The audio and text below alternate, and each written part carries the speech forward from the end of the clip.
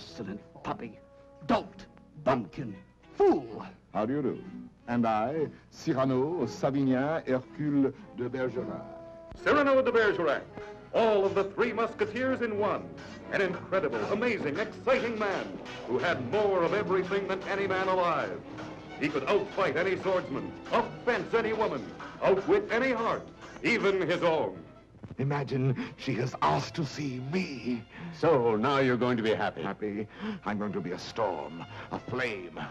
I need to fight whole armies all alone.